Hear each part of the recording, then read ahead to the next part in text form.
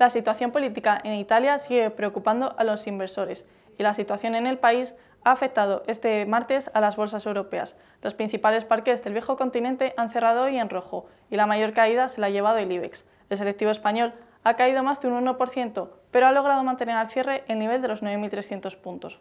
Sus grandes valores han cerrado todos en rojo, incluido Repsol, que por momentos sí se ha visto en la parte de las ganancias beneficiado por las fuertes alzas del petróleo Brent de ayer los bancos cotizados también han caído debido a su exposición a Italia y entre ellos uno de los más bajistas ha sido BBVA, que solo le han superado las caídas Mafre e Inditex. En el caso de la compañía textil, la caída ha sido de más del 3,5%.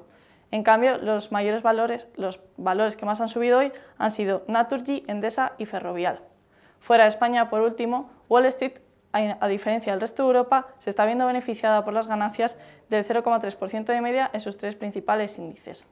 Eso es todo, pero recuerde que puede seguir informado en bolsamanía.com. Muchas gracias.